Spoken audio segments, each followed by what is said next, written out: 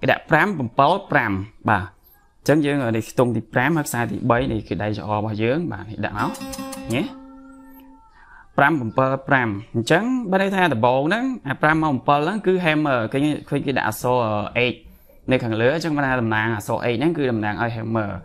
បាទពាក្យពេញគឺ hammer on បាទហើយអក្សរ p តំណាងឲ្យ full off បាទបាទសួស្តីបងប្អូនទាំងគ្នាឥឡូវថ្ងៃនេះយើងស្វាគមន៍មកកាន់មេរៀនហ្គីតា tab យើងជាបន្តទៀតថ្ងៃនេះយើងនឹង ចូលមកវគ្គរៀនហ្គីតា tab យើងរៀនមើលអានហ្គីតា tab បាទអញ្ចឹងកាលពីវីដេអូមុនមុនខ្ញុំបានបង្ហាញត្រួសត្រាសខ្លះហើយរបៀបអានពីហ្គីតា tab បាទអញ្ចឹង symbol tab គឺវាមានផ្លែកផ្លែកផ្សេងផ្សេងគ្នានឹងមានច្រើនប្រភេទអញ្ចឹងណាហើយការលេងក៏គេលេងតាមរបៀប style តិចតិចបាទផ្សេងផ្សេងគ្នាទៅតាម symbol ដែលគេសរសេរដាក់នឹងដែរឥឡូវថ្ងៃនេះខ្ញុំនឹងសូមធ្វើការបង្ហាញពីការលេង hammer on បាទហើយនឹង full off បាទអញ្ចឹងបងប្អូនខ្លះគាត់ចេះលេងមែនតែគាត់អត់ចេះមើល tab ទេអញ្ចឹងហើយខ្ញុំនឹងបរៀនបងប្អូនទាំងមើល tab ទាំងរបៀបលេងបាទចង់ដឹងថារបៀបលេងយ៉ាងម៉េចអញ្ចឹងណាអញ្ចឹងបងប្អូនអាចមើលនៅលើខាងអេក្រង់បានខ្ញុំដាក់នៅខាងលើអេក្រង់ឲ្យបងប្អូនមើលបាទ ចឹងឥឡូវយើងកុំឲ្យខាត់ពេលយូរឥឡូវយើងចូលទៅកាន់មេរៀនយើង បាទអញ្ចឹងជាដំបូងហ្នឹងគឺគេដាក់នៅខ្សែទី3បាទខ្សែទី3 5 7អូខេគេដាក់មុំកញ្ចក់5ទៅ7ហ្នឹងបាទអញ្ចឹងហើយគេដាក់អក្សរ h បាទ h នៅពីខាងលើនឹងជួនកាលខ្លះគេអត់ដាក់អក្សរ h ហ្នឹងទេបាទអាហ្នឹងគេហៅថា hammer បាទ hammer គេអានថាពាក្យកាត់ hammer ឬក៏ hammer on បាទអញ្ចឹងទៅហើយរបៀបលេងបាទរបៀបលេង hammer on ហ្នឹងគឺគេលេងបើចាំតិចទៀតខ្ញុំនឹងបង្ហាញបងប្អូន ហើយបន្ទាប់មកគេដាក់នៅលើខ្សែទី2ហើយខ្ទង់ទី7បាទហើយបន្ទាប់មកខ្ទង់ទី5វិញអាហ្នឹងបញ្ច្រាស់គ្នាវិញបាទលេខធំនៅខាងមុខលេខតូចវិញបាទអញ្ចឹងអាហ្នឹងគេហៅ full off អញ្ចឹងភាពខុសគ្នារវាង hammer on និង full off ហ្នឹងគឺខុសគ្នាត្រង់ hammer គឺគេដាក់លេខតូចមុនហើយបានដាក់លេខធំបាទថាខ្ទង់ទី5បាទនេះខ្ទង់ទី5ហើយបន្ទាប់មកខ្ទង់ទី7 បាទអញ្ចឹងគេលេង hammer អញ្ចឹងអាហ្នឹង hammer hammer on បាទសម្រាប់ដែល pull off វិញគឺគេលេងបញ្ច្រាស់ទៅវិញអឺគេដាក់លេខ7មុនហើយបានគេដាក់លេខ5ខាងក្រោយហើយបើគេដាក់3ខ្ទង់បាទចូលមកដល់ខ្ទង់វគ្គទី3បាទគឺគេដាក់ hammer និង full off អញ្ចឹងបានថាលេខ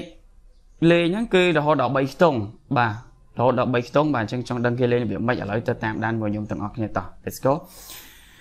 បាទឥឡូវចូលមកមេរៀនយើងឥឡូវយើងលេង hammer on សិនបាទដើមគេអញ្ចឹងគេដាក់ខ្ទង់ទី5និងខ្ទង់ទី7ឃើញទេហើយគេដាក់ក្រោកវងកញ្ចក់ពីលើឬហើយអ្នកខ្លះទៅគេដាក់អក្សរ H នៅកណ្ដាលគេអត់ដាក់វងកញ្ចក់ទេគេប្រើអក្សរ A អញ្ចឹងបានតំណាងឲ្យ hammer on ឬមួយអ្នកខ្លះគេដាក់តែវងកញ្ចក់អត់ដាក់អក្សរ H ពីលើទេអាហ្នឹងក៏គេអានថា hammer on ដូចគ្នាហើយរបៀបលេងយើងទៅមើលខ្ញុំចាប់ នៅលើខ្សែទី3បាទខ្ទង់ទី5និងខ្ទង់ទី7បាទអញ្ចឹង hammer យើង hammer មកឃើញទេអញ្ចឹងគេលេងរបៀបហ្នឹងអញ្ចឹងដៃយើងដាក់នេះដៃច្រអល់របស់យើងដាក់នៅលើខ្ទង់ទី5ឃើញទេបានហើយយើងកេះមកយើងកេះមកគេយើងកដោបមកបាទយើងកេះមកយើងយើងកដោបមកវាយមកខ្ទង់ទី7អញ្ចឹងទៅ គេយើងកេះតែមួយទេកេះកេះតែមួយកេះតែកន្លែងខ្ទង់ទី5នេះមកហើយសល់ខ្យល់ដៃហ្នឹងគឺយើងមកវាយលើខ្ទង់ទី7អាហ្នឹងគេហៅថា hammer on បាទឬក៏យើងអានកាត់ថា hammer hammer ហ្នឹងហ្នឹងហើយ work tab គេទៅសេដាក់ហ្នឹងអញ្ចឹងរបៀបយើង hammer ហ្នឹងគឺយើងអាចលេងគ្រប់ខ្ទង់បាទតាមដែលគេទៅសេដាក់មកគ្រប់ខ្ទង់គ្រប់ខ្សែយើងលេងតែពីរខ្សែទេក៏បានដែរគោគេហៅថា hammer ដែរគេ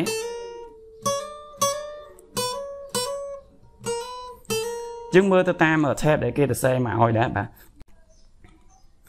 បាទឥឡូវយើងចូលទៅមេរៀនយើងបន្ទាប់ទៀតគឺយើងរៀនពី pull off វិញម្ដងបាទអញ្ចឹងគេដាក់ពី7ទៅ5បាទខ្ទង់ទី7ទៅខ្ទង់ទី5វិញអញ្ចឹងខ្ញុំសុំដោខ្សែខ្ញុំដាក់ទៅខ្សែលេខ2វិញហើយខាងក្រោមវិញអញ្ចឹងគឺយើងចាប់ដូច hammer on ដូចគ្នាបាទឃើញយើងចាប់អញ្ចឹងដៃប៉ុន្តែពេលដែលយើងកេះលេងហ្នឹងគឺយើងប្រើម្រាមដៃនេះយើងយើងត្រូវប្រើអឺខ្ទង់ទី7មុនបាទឃើញទេឃើញទេ យើងកេះខ្ទង់ទី7ហើយបានយើងកាយចេញចេញចេះវិញហើយអញ្ចឹងឲ្យវាសល់លឺសំឡេងនៅខ្ទង់ទី5នេះឃើញទេវា pull up នៅកន្លែងអូខេយើងកាយអញ្ចឹងអញ្ចឹងបរិយាមដៃចអយើងដាក់កន្លែងខ្ទង់ទី5នេះគឺយើងត្រូវស្កត់វាជាប់ឃើញទេហេអញ្ចឹងយើងអាចលេងបានគ្រប់ខ្ទង់គ្រប់ខ្សែទាំងអស់ណាយើងបាទ pull up បាទគេអាស្រ័យទៅលើ tab ដែលគេសរសេរមក បាទពីខ្សែក៏បានបាទគេពីខ្ទង់បាទ3ខ្ទង់ឬក៏4ខ្ទង់5ខ្ទង់ដែល tab គេសរសេរមកអញ្ចឹងហ៎បាទហើយមកជំហាន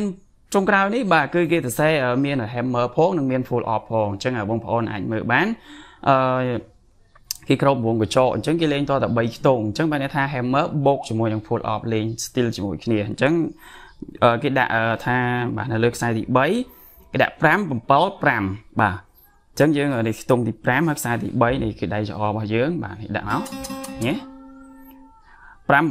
5អញ្ចឹងបើន័យថាដបូងហ្នឹងអា5មក7ហ្នឹងគឺ hammer ឃើញឃើញគេដាក់អក្សរ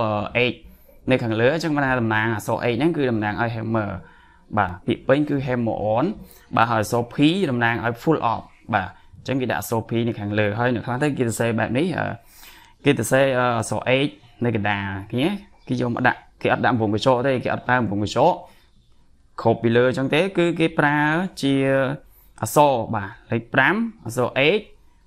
លេខ7តមកអក្សរ p តមកលេខ5អាហ្នឹងក៏គេអានហៅយើងអានថា hammer pull off ចឹងគេលេងគួបគ្នាហ្នឹងគេលេងគួបគ្នាណាអឺមិញខ្ញុំខ្ញុំសម្រាយគេលេងតែមួយមួយ hammer ដោយ hammer full off ដោយ full off តែឥឡូវ យើងសរសេរមកគេសរសេរមកឲ្យយើងលេង full off បាទ hammer ជាមួយនឹង full off គឺលេងបាទភ្ជាប់គ្នាតែម្ដងចឹងគេលេងវាមិនតោះទៅលេងមួយគ្នាបាទអញ្ចឹង hammer អញ្ចឹង5មក7ហ្នឹងគឺយើងដឹងតែ hammer អញ្ចឹងយើង hammer វាមកឃើញទេយើង hammer វាអញ្ចឹងតមក5វិញឲ្យឲ្យសល់5អញ្ចឹងមិនឲ្យយើងកាយទៅចេះឃើញនេះ hammer pull off ហេដល់ពេល pull off យើងកាយចេញតែម្ដងប៉ុន្តែយើងអត់កេះទេយើងកេះតែ hammer មួយទេ hammer យើង hammer មកខ្ទង់ទី7ហើយយើង full off ទៅខ្ទង់ទី5វិញឃើញទេអញ្ចឹងមកហើយវានៅសល់ដៃយើងនេះដៃច្អល់គឺយើងជប់ទប់ឲ្យជាប់អញ្ចឹងពេលយើងលេងមកឃើញទេ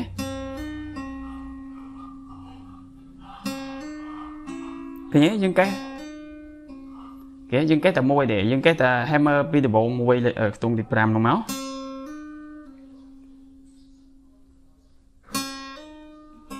ឃើញទេវាសល់ខ្យល់ដៃយើងអញ្ចឹងអាហ្នឹងគេហៅគេគេហៅថា hammer pull off ចឹងគេលេងគួបគ្នាជាប់គ្នាចឹងគឺ still របៀបហ្នឹងឃើញទេយើងលេងលឿនមកហ្នឹងគេសរសេររបៀបហ្នឹងបាទ tab ចឹងបងប្អូនដែលចង់ចេះមើល tab បងប្អូនអាចចូលទៅកាន់ playlist ខ្ញុំបានអញ្ចឹងថ្ងៃនេះខ្ញុំសូមបង្ហាញតែ hammer និង full off ប៉ុណ្្នឹងទេអញ្ចឹងវីដេអូក្រោយៗនឹងជួបគ្នាជាមួយនឹងមេរៀនជាបន្តបន្តទៀតបាទអញ្ចឹងអរគុណសម្រាប់ការទស្សនាវីដេអូនេះតាំងពីដើមដល់ចប់បាទអរគុណដែលបានបងប្អូនចូលមករៀនមួយខ្ញុំនៅក្នុង YouTube អញ្ចឹងសម្រាប់បងប្អូនដែលថ្មីថ្មីដែលអត់ទាន់បានចូលមករៀនជាមួយខ្ញុំបងប្អូននឹងចូលមករៀនជាមួយ YouTube របស់ខ្ញុំ នឹងចុច Subscribe ម្នាក់មួយទៅដើម្បីទទួលបានវីដេអូមេរៀនថ្មីថ្មីដែលតាក់ទងនឹងមេរៀនហ្គីតាតែម្ដងបាទនេះជាមេរៀនដែលខ្ញុំចែករំលែកដែលចំណេះដឹងរបស់ខ្ញុំមានខ្ញុំនឹងធ្វើការចែករំលែកទៅបងប្អូនដែលស្រឡាញ់ដែលចូលចិត្តហ្គីតាដូចខ្ញុំដែរបាទបាទអរគុណអញ្ចឹងជួបគ្នានៅវីដេអូក្រោយជាបន្តបន្តទៀតបាទបាយ